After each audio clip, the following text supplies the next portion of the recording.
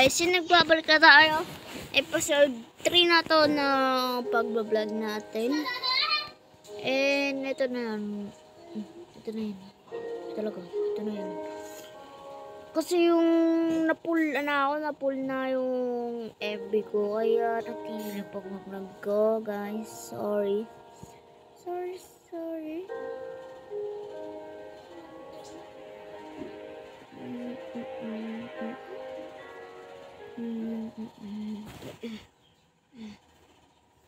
Paano? Talaga yung hindi mo na guys magagawa ng episode. Yung mga patuloy ng mga episode. Kasi problema ko po kung paano ako hmm, mga, alam nyo, pag bata pa, di ba may kantayan habang bata pa, di ba may bata pa kasi ako guys. Hindi, yan, alam niyo ba guys, bata pa ako.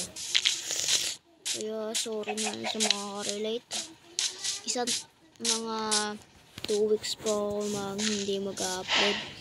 Eh, ito lang po yung sasabihin ko sa inyo. Babay na lang po. In 1 seconds lang yan, magpapaalam na ako. Eh, sorry, sorry. Bye-bye na guys. Pinawanan ko lang sa inyo. Bye-bye. See you next time. Peace out.